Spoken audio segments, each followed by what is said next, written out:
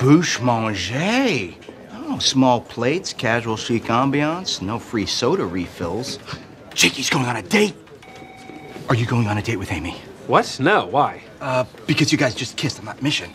Charles, we just kissed because we were undercover. That's it. Yeah, it didn't mean anything. Not that it's any of your business, Boyle, but the person that I'm taking on a date is a girl from the gym. What? Why is this the first time I'm hearing about her?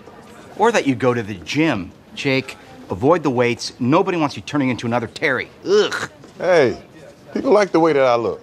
Sure they do, big guy. Look, I can't believe you're gonna take some fitness floozy to Bouche Manger. Should be going with Amy. Right, Amy? Uh, whatever, dog. Date the flues. See? It's never gonna happen, Boyle, okay? Because I find Amy repulsive and she finds me extremely handsome.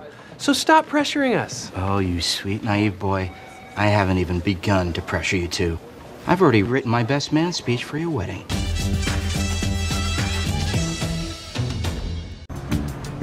So, how was the restaurant? Such a normal time. Why are you being weird? Amy and I kissed. What? To keep our cover from being blown, we didn't have a choice.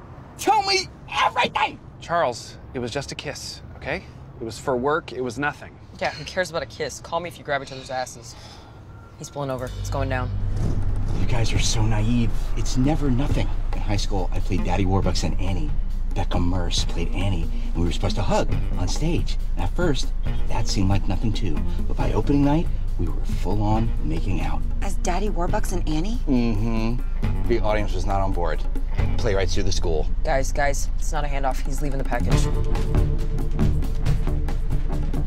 Okay, you and Rosa follow Augustine. Right. And you and Amy, follow your hearts. No, we're gonna stay with the package. And each other forever. Come on, man. No, no, no, no, no, no, no, no. Boyle, can we please just go to dinner? No, no, no, no, no! This is not how you and Amy are supposed to end. You're supposed to grow old and die holding each other as your cruise ship slowly takes on water. What do you want me to say? We tried really hard. We made rules. We kept it light and breezy. Light and breezy? Ow! Light and breezy is how you describe a linen pantsuit, not a relationship you care about. We were just being cautious. Cautious! Ow! You guys started this with one foot out the door. That's what doomed you, not the universe. That actually makes a lot of sense. Ow! I was agreeing with you! I'm sorry, I'm just so excited about all this. All right, so what do I do? Tell me. Easy.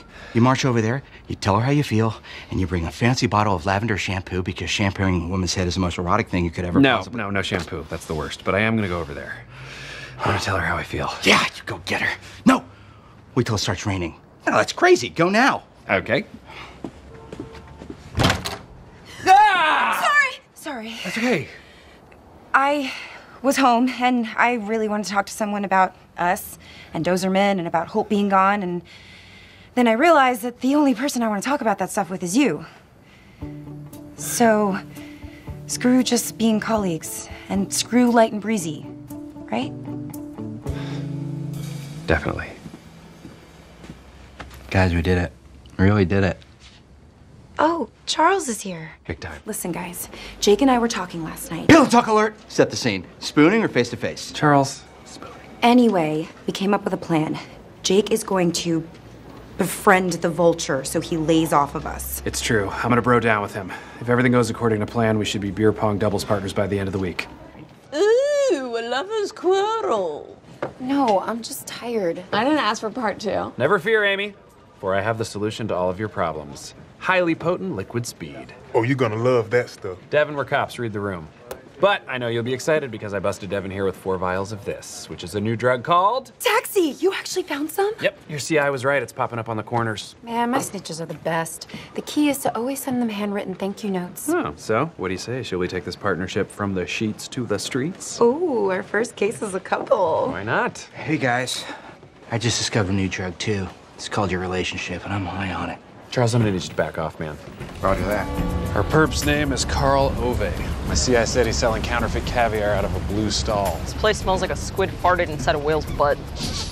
Yes, that is the exact combo of smells. Nicely done. Hey, next week is my six month anniversary with Amy. Should I do something special? You know what I like about our relationship, Jake? We don't talk about our love lives or our families or anything that's on our minds. It's why you're my closest friend in the world. Yeah, I know, but I need help on this. I asked Boyle and he was useless. Put a baby in her, Jake. What are you waiting for? I don't know. Is anyone gonna buy it? I mean, do I look pregnant? I mean, I guess I can see it. I think it's amazing. Oh, Jake and Amy and baby makes three. I don't know if I believe in God, but I have prayed for this. That is psychotic. Love it when everyone chants that. Hmm. So, Charles and I really got into it on the plane, and around Sunday number five, I realized we should move in together. You and Charles? No, you and me. Oh! Yes, that makes so much more sense. Absolutely, immediately, let's do that. I love you so much. Oh, I love you so much too. I love this so much.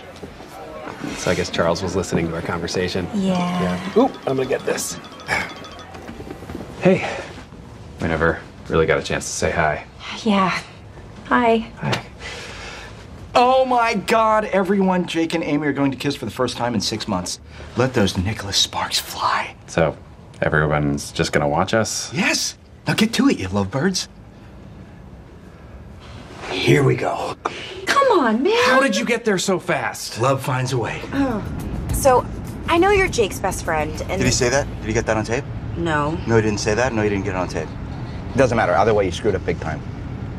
Anyway, all I'm saying is, I know you're Jake's best friend, and you really want him to win this bet. Are you kidding? That's the last thing I want. Jake moving in with you is my dream come true. Your apartment is two blocks away from mine. Jake will be able to pop by anytime. Imagine it. He's had a tough day.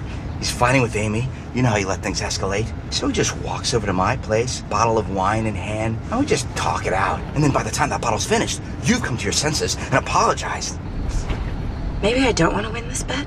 I love these thermal goggles. Amy, listen to me very carefully.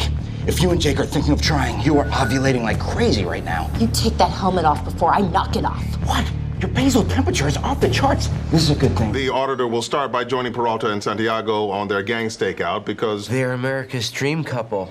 you need to calm down. We're in the workplace. Sharon can't pick him up because she's out of town with Ava, and the sitter doesn't get to my house till 6.30. Jake and I can pick them up. Absolutely. Couple of issues. I don't have any car seats, and my rear window is technically a shower curtain. Really? Why? Hmm. You know what? Doesn't matter. Just take my minivan. You got it. Thanks, guys. I appreciate it. Why are you doing that with your face? I'm smiling at mommy and daddy. Gross. Picking up Cagney and Lacey. One taste of practice parenting, and you two will be so hot to have sex. The kind that make babies. Walk away, Charles. Okay. But I'll be back in nine months. How ridiculous is Charles? So ridiculous. Maybe you should go talk to him about it, you know? Go to his house. Yeah, that's a good idea. I'm gonna do that. And while you're talking to him, Jake and Amy can babysit your kids. Mm-hmm. Unless you're too busy making babies over there. I don't want to check it down. Get out of us. But also, their little shoes are so cute. They're like little circles. I know, and everything they hold looks so big because their hands are so tiny. Yeah, and they have to hold a cup of water with both hands because they're so weak. I know. Whoa! Way! That's what I'm talking about! Oh, Will. Lucky for you, Amy, I'm an unlicensed doula. I've delivered three of my cousins and one of my uncles. Long story. Go away. Jake and Amy are getting married tonight. Title of my sex tape. What? Whoa! Yeah! Whoa! Wait! I gotta look for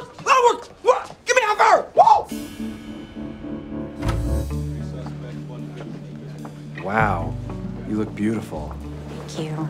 This dress is incredible. Gina, this would have been so crazy if you wore this to our wedding. I know. Hey, Amy, I know I ruined your veil, but I made you a new one. It's a shower curtain. Uh. Yep, Terry fumbled to task. But we got you a bouquet. Wow, that's gorgeous. Thank you. Where did those come from? Alicia found a florist in the city that was still open and picked them up. All right, keep it in your pants. Okay, here we go. Jake, Amy, let's go downstairs. It's wedding time! So here it is. I really hope you like it. But if you don't, I will kill myself.